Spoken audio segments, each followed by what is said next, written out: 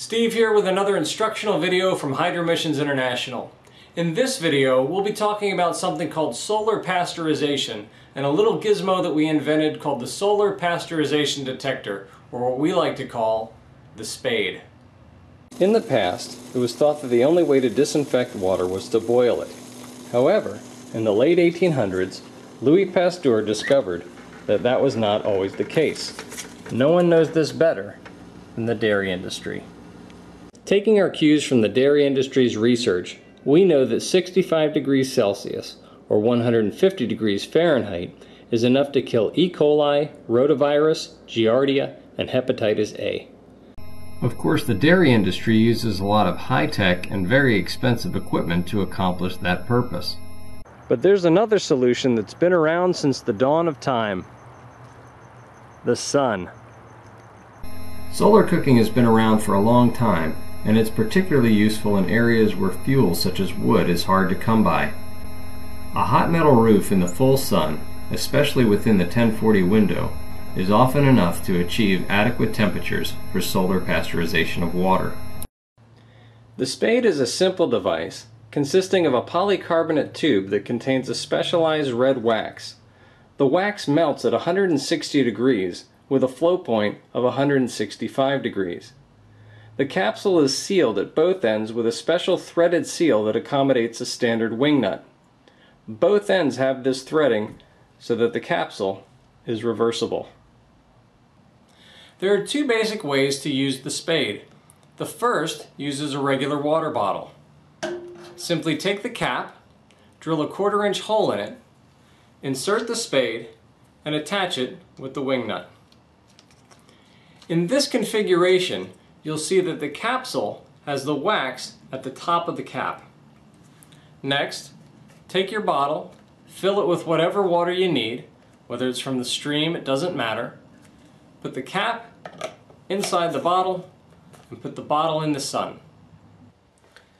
When the bottle's been sitting in the sun, the heat will cause the wax in the capsule to start to melt. When this happens, the wax will go from the top of the capsule to the bottom of the capsule. Remember, the capsule is sealed, so it's not going to go into your water or anything like that. This particular wax has a built-in safety factor. We chose it because it has a melting point at 160 degrees, but the flow point, the point at which it behaves like a liquid, is 165 degrees. That gives you an extra 5 degrees difference to allow the wax to go from a gelatinous state to a liquid state and that gives you enough time at the desired temperature to assume pasteurization. Now remember, the spade is only a temperature and time indicator, it's not a biological indicator. As a way of increasing the effectiveness of bottle pasteurization, we recommend that groups either put the bottles on a roof or they make what we call a pasteurization station. To do this, simply make an A-frame of corrugated metal painted black. The black will increase the intensity of the heat. Place the pasteurization station in the center of the village in the sun and stack water bottles on top of each other in the grooves of the corrugation. This is a very simple and cost-effective way to make a centralized system for a village to have clean drinking water.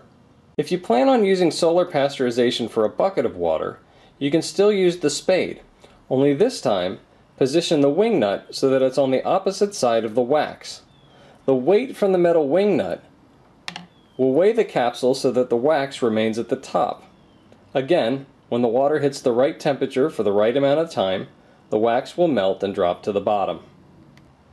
Our favorite thing about the spade is that it's reusable. When the wax melts, simply let it cool, flip it over, and start again. The polycarbonate tubing that we use is practically indestructible, and the industrial wax does not fatigue. In other words, it doesn't really have a lifespan. The other thing that we really like is that these pack up small. You can take a hundred or so of these and set up a village with a pasteurization station and it doesn't take up much room in your pack. We hope that you've at least seen the value in using an indicator like the spade whenever you're considering solar pasteurization. Without an indicator, you're really just guessing whether or not that water has been at the right temperature for the right amount of time. Thanks again for watching, and please join us again for another Hydromissions International instructional video.